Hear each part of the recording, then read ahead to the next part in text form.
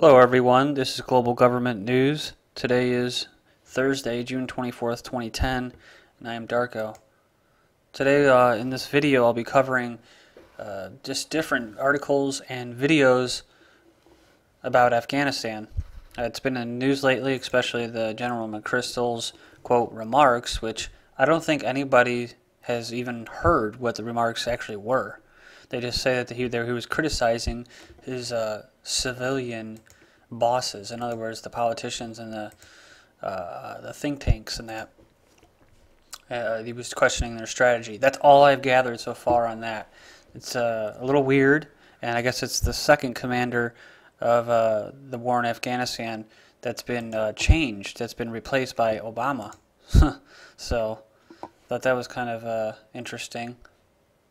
Uh, but there's other things as as well that have been going on in Afghanistan as long as as far as the the uh, mineral find. Uh, that news was uh, well, it was news last week when they came out with the uh, story, and um, there's different reasons for why that came out, uh, but there's also other things. Um, such as the Taliban, such as the U.S. and intelligence agencies funding the Taliban, and then there's uh, there's also been stories. This is kind of an older story. The troops have been guarding the poppy fields for the for the opium, and uh, just real kind of crazy wild stories that I don't, I, they're out there in the mainstream news, and I guess just most people don't pay attention to it, or they just or they don't they just didn't have time to watch the news or something. But I mean, it's crazy stuff, and uh, I'm going to cover it in this video. So let's get started.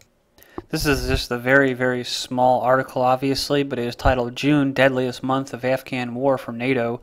And it says Kabul, Afghanistan. June has become the deadliest month of the Afghan war for the NATO led international military force. An AP uh, count based on announcements by the uh, Alliance and national commands shows 76 international service members have died this month. The total includes 46 Americans. The previous deadliest month for the multinational force was July 2009 when 75 troops were killed. For the U.S. contingent, the deadliest month was October 2009 when 59 service members were killed. And uh, so, if uh, most of I'm not sure if most of you are aware of the fact that when Obama took over, the uh, Afghan war actually escalated. So, I mean, this is something to take into account because this was uh, someone that was supposed to be quote liberal and a lefty and uh, who loves the troops uh, and wants to uh, bring them home. And so, what did he do? Um, Barry Soetoro. Uh, well, he just took the troops from Iraq, most of them, uh, kept a, a, small contingency of um, of army or marines there. Built the biggest. They had the biggest base built there under Bush, and um, moved most of the troops from Iraq to Afghanistan. That's what the surge consisted of: uh, troops from home and then troops from Iraq. So the troops that came left Iraq went to Afghanistan, and um, so that's what that meant. So the war has actually escalated under Obama, and it just goes to show you that he's not um, just a compassionate uh, a, a Democrat or lefty liberal. He is um, just a, a, globalist and a puppet. Uh, that last article was from the Associated Press. And uh, this next article is from the Yahoo News blog or newsroom. It's titled "Cutting to the Heart of Obama's Dilemma: Can the War Be Won?" And uh, well, it's kind of a weird article because it was kind of a most of a vid, mostly a video, uh, video, sorry, and um, it was someone who shouted out. One of the journalists shouted out, "Can the war be won?" And it was as it was right when he was done with his speech, and he just ignored it and walked away. But uh, that was the gist of it. And this is from June 23rd. And it says As President Obama concluded his Rose Garden statement revealing that he replaced General Stanley McChrystal as the top American commander in Afghanistan, a, a reporter shouted an impromptu question Can the war be uh, won? He yelled. The president didn't answer. It says uh, you can watch the non answer here, which I already have, uh, but it's not really important. It's just basically him talking about replacing uh, Petraeus with McChrystal and then you have uh, Department of Defense Secretary there, and then you have the VP over there.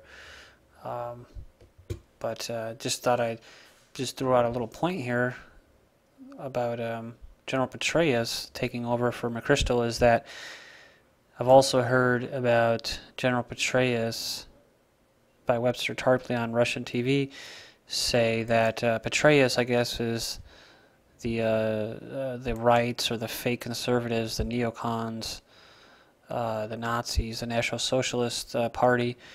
That's their man, I guess. Uh, General Petraeus, he's going to be kind of their man to groom for the presidential race in 2012. So maybe that's why he they put him there, and then maybe they'll pull out. So that's kind of my little take on just what's going on with that. He could be just been placed there. Um, you know, yeah, the, the dude made the comments for whatever reason. Uh, it's easy to set somebody up with comments like that. All they they probably do say stuff like that. He's he's been it's it's been uh, said in the media that that McChrystal has made comments like that before, but maybe this is just this time. Uh, they pulled his card on it because they wanted him out of there, and they put Petraeus in the in the command of the Afghanistan war, the war in Afghanistan, and then, uh, you know, uh, they they scale down the war, or Obama does, and they contributed to a, a, a General Petraeus's, you know, taking over. It's something that he did, but basically they're just done with it, and they can't do any more with it and uh, they'll move on to Syria or Pakistan, and uh, Petraeus will be a big hero uh, for winning the war in Afghanistan, and then he'll be in the run against Palin or something like that crazy shit. But it says down here Obama is trying to stick to a July 2011 deadline to draw down troops in Afghanistan. But the McChrystal flap was the latest setback for an administration trying desperately to regain momentum in a conflict that's grown increasingly harder to manage as it loses public support back home. And they always say that as loses public support back home.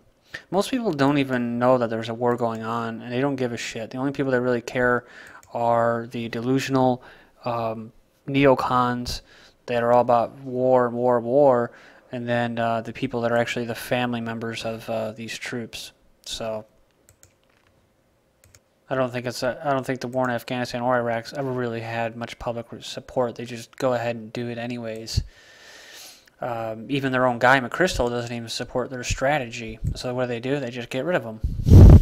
Obama's choice of General Petraeus, who is already overseeing the wars in Afghanistan and Iraq as head of U.S. Central Command, will at the very least contain much of the political fallout from McChrystal's firing. Oh, okay. So yeah, here you go. It says uh, Petraeus, an architect, I like that, the architect um, of the 2007 troop surge in Iraq, is widely respected by both Democrats and Republicans on Capitol Hill. And uh, yeah, if if I, if I remember correctly, it was that that 2007 troop quote surge that uh, after that they started to take the troops and uh, move them into Afghanistan. And that and uh, so that's why I said, you know, you have McChrystal saying that uh, he didn't need more drones, while the, the Department of Defense, the Secretary of Defense, Robert Gates, was issuing more drones and all that.